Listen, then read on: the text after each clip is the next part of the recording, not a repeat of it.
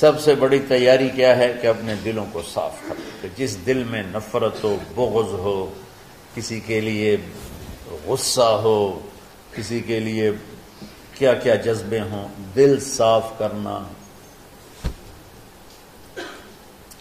हमारे घरों में रोज़ाना झाड़ू होता है। यहाँ मदरसे में रोज़ाना सफ़ाई होती कि नहीं होती? क्योंकि दुनिया की असल गंदगी है। तो झाड़ू हाथ से नहीं छूट सकता। हरम शरीफ में देखा कैसे चारों तरफ़ खुदाम फिर रहे होते हैं, बुरश लेकर।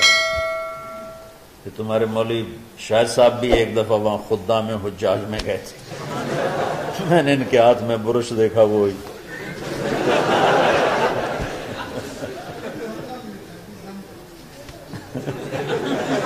वो हरम ही है। कौन सा सन था? Ninety seven. तो दिल पे गुबार ऐसे आता है जैसे सहन में गुबार आता है। दिल पे गंदगी ऐसे आती है जैसे सहन में आती है। तो हमने निज़ाम बनाया हुआ है, लोग वो कर रहे हैं, वो रोज़ाना झाड़ू देते हैं। तुम्हारा दिल एक आँगन है, एक सहन है।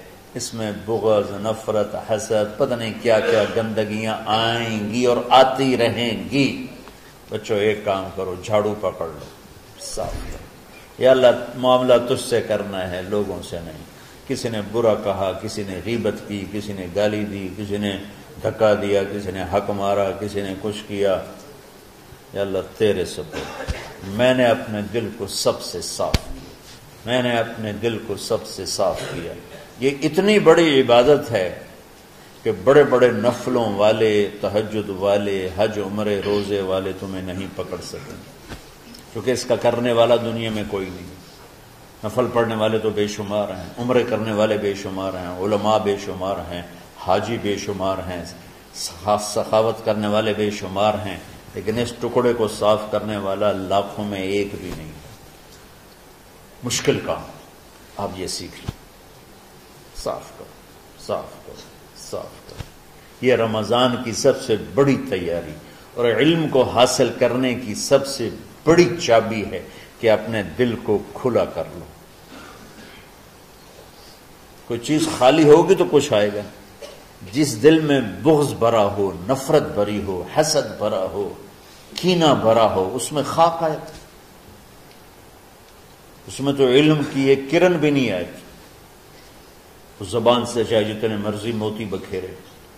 दिल उसका अंधा होगा लातामल बसार लेकिन तामल कलूब लतीफ़ सदूर। ये आँखों से अंधे नहीं, दिल से अंधे हैं। तो बच्चों, अपने दिल को साफ़ करना सीखो।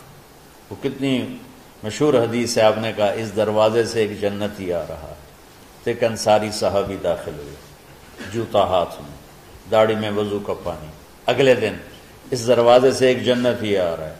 तो एक सहाबी आए, हाथ में जूता, दाढ़ी में वज़ू का पानी। वही सहाबी। अगले दिन इस दरवाजे से एक जन्नत ही आ रहा है। तो वही सहाबी तीन दिन जन्नत की बशारत लिए इस सहाबा की जमात में एक शख्स हैं, जिनका नाम है अब्दुल्ला बिन आमर बिन आस। इनसे बड़ा इबादत गुजार सहाबा में कोई नहीं था। ना सबकीन में, ना मुताखरीन में, ना पहलों में, ना बाद वालों में। इनकी इबादत क्या थी? सारी रात जागना, सारे दिन का रोजा और एक खत्म कुरान सुबह से शाम। इतनी अल्लाह ने ताकत दी थी। फिर वही गुलूब वाली बात आ गई। एक्सट्रीम होने वाली बात आ गई। इनकी शादी शादी वाली रात। हजला अरूसी में दाखिल हो रहे हैं, दुल्हन के कमरे में दाखिल हो रहे हैं, और मुसल्ला बिछा के अल्लाह अकबर। और दे नफल पे नफल, दे नफल पे नफल।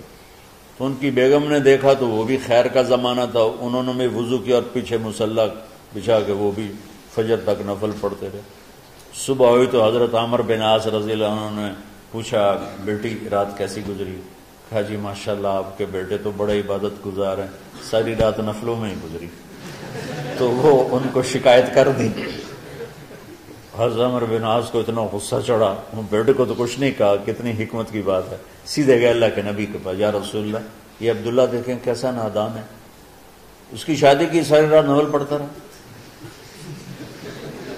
तो आप कहते हैं, माशाल्लाह माशाल्लाह, कितनी बड़ी बात है।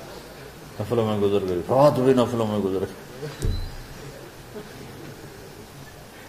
जैसे बाज वो तबलीग वाले कहते हैं, बच्चे की टांग टूट गई, फिर भी गश्त नहीं छोड़ा। कैसे अहमकाना बातें करते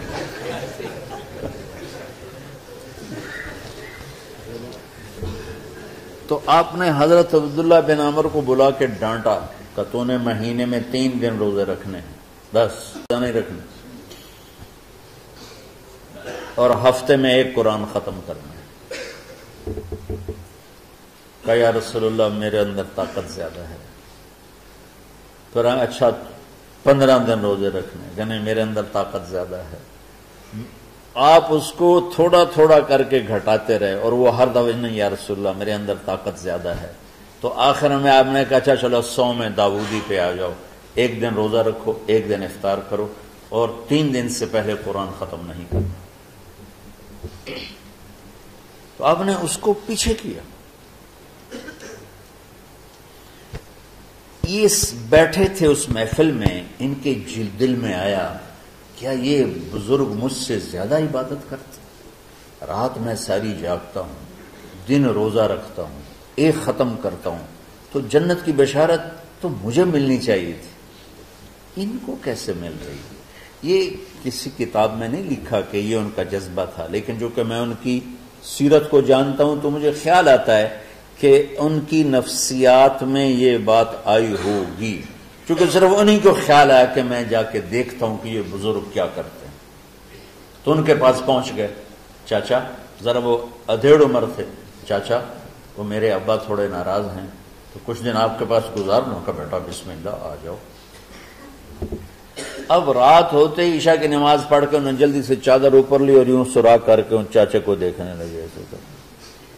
कि अब ये क्या गल, सारी रात सजदा करेगा? और सारी रात रोते रोते रोते रोते मुसल्ला गीला हो जाएगा। या सारी रात रुकू करेगा, सारी रात क्याम करेगा, सारी रात कुरान पढ़ेगा, इस तस्वुर से यूँ देख रहे। और वो बुज़ुर्ग साहबी तशरीफ़ लाए सराने पे सर रखा, अल्लाह इसमें का मुँह तो वो आहिया हो गए। अब ये देख रहे हैं, अभी उठेंगे अभी उठेंगे अभी उठेंगे। फजर की अजान पे उठे। अब ये तो हैरान, परेशान हो गए कि ये क्या उस जमाने में तो मुनाफिक तहजद नहीं छोड़ते थे, डर के मारे। कि पता ना चल जाए हमारे कुफर का तो ये चाचा जन्नत भी ले गया तो सुता भी पिया। कि चलो कल देखूँगा। अगली रात फिर चादर सर पे करके और यूँ सुराख करके बैठ, लेटे हुए और देख रहे। चाचा फिर तशरीफ़ ले और सिराने पे सर रख, अल्लाह इसमें का मुँह तो वो आ गए हो गए फजर की अजान पे उठे। ये और परेशान हो गए कि मेरा नबी का फरमान तो सच्चा है, उसमें तो शक भी कुफर है। लेकिन अमल क्या है जिस पर इसको जन्नत की बशारत मिली? दो रकात नफल भी नहीं। और आज के दौर में तुम में से माशाल्लाह अक्सर बच्चे तहजद पढ़ते हैं। क्या एक रात और देखूँगा? अल्लाह मबिस में का मुँह तो सारी रात। तो तीसरी रात फट पड़े अब्दुल्ला बिन अमर। कहेंगे चाचा मेरी अब्बा से कोई लड़ाई नहीं थी। तीन दिन मैं तेरे बारे में सुनता रहा। जन्नती जन्नती जन्नती। मैं देखने आया था कि आप क्या करते हैं। आप तो कुछ भी नहीं करते हो, सारी रात सोते रहते अब क्या करते हो? मैं कहा, बेटा, यही है जो तुमने देखा है। अब उनको समझ में नहीं आ रहा कि ये जोड़ कैसे बैठाऊं। इधर जन्नत की बशारत, इधर सारी रात खराटे। अब ये इसमें जोड़ कैसे बैठाऊं? क्योंकि नबी की बात तो गलत हो नहीं सकती। तो अब वो ना ऐसे ना बड़े बेदिल से होकर वापस मुड़े पता नहीं की चक्कर होगी कोई गल। जब वो दरवाजे तक पहुँचे तो कह लेंगे, बेटा, इधर आना। वापस आ गए। कहा मैं तुम्हें असल राज की बात बताता हूँ। क्या है? क्या तो यहाँ हाथ रखा, कहा, ये जो दिल है ना इसमें किसी इंसान की नफरत नहीं।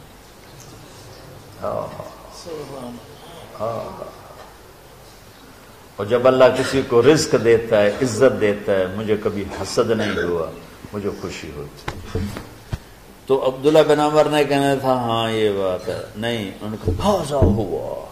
उछल के कहने लगे, हाजा हुआ। हाँ हाँ हाँ हाँ यही है यही है, यही फिर कहने के चाचा, पर ये मेरे बस का नहीं है।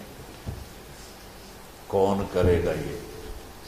इतने बड़े आदमी होकर कह रहे हैं कि ये मेरे बस का नहीं तो बच्चों, दुनिया में जन्नती बनना है और इल्म अल्लाह से लेना है तो इसे साफ़ कर दो। सबकी नफरत से सब। उसने मुझे ये क्यों कहा? उसने मुझे यूँ क्यों देखा? उसने मेरे बारे में यूँ क्यों कहा? उसने मेरे बारे में ये क्यों लिखा? जिसकी तारीफ़ होती, मेरी कितनी बुराई होती? सिर्फ़ तारीफ़ तो नहीं भरा पड़ा सोशल मीडिया मुझे गालियाँ में अल्लाह के फजल से मेरे दिल में एक जर्रे के बराबर कभी कोई मनफी जज्बा नहीं आया। आए तो मैं धो के साफ़ कर देता हूँ। अल्लाह, मैंने अपने दिल को साफ़ किया। मेरा मामला तेरे साथ है, किसी के साथ नहीं। यही आप रमज़ान की सबसे बड़ी तैयारी, इल्म के हासिल करने का सबसे बड़ा हथियार आपको बस, ये नहीं कि तुम्हें किताबें याद हो जाएँ, तुम्हें अशार याद हो जाएँ, तुम्हें, मैं किताबों का हाफिज था जब मैं पढ़ता था। और दीवानों का हाफिज था अशार का तुम कुछ भी नहीं याद रहा।